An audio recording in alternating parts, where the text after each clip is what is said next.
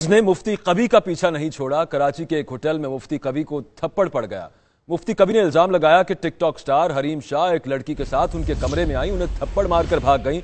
ये नहीं जानता कि ऐसा क्यों हुआ। इसी पर मजीद बात करेंगे नुमाइंदा जेएनएन शहजाद फरीद हमारे साथ हैं। शहजाद, बताइएगा इस बारे मजीद तफसील। जी, शुक्रिया।